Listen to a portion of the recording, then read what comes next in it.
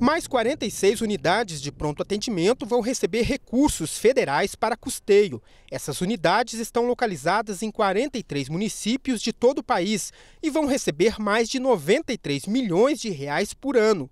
Elas se somam a outras 155 que também recebem recursos federais. O prefeito inicia o funcionamento, nós fazemos uma vistoria de habilitação e uma de qualificação, passamos a pagar integralmente os recursos, evidentemente, desde que as normas estejam atendidas. É transferido a partir da publicação da portaria cada 30 dias o recurso é repassado. É permanente enquanto o serviço estiver funcionando. Hoje são 562 UPAs funcionando em todo o país que podem resolver grande parte das urgências e emergências médicas. As unidades contam com raio-x, eletrocardiografia, laboratórios para exames e leitos de observação. Essa ajuda é imprescindível para ela funcionar.